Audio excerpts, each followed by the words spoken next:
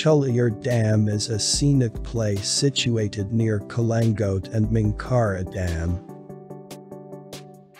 At a distance of 36 kilometers from Palakkad. Chulliyar is a tributary of the Gayathri River. Constructed in 1960. The dam and surrounding place provide an excellent view of natural beauty. The adjacent Nelliampathy Mountains multiply the charm of this locality.